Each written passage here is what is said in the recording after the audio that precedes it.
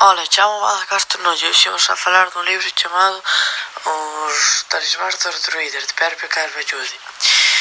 Este libro trata de que un grupo de talismáns foron a un campeonato de, de arco.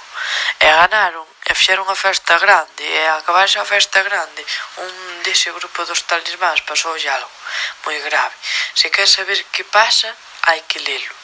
O meu personaxe favorito é o Xiu, porque é moi agradable, e coida ben a xente, e a ser pobre, dá igual que sea pobre, porque ele deixa todas as cousas que ten. Pepe Carballudi naceu en Rubín o 15 de agosto de 1956 e é escritor galego. Estudiou na Universidade de Santiago de Compostela.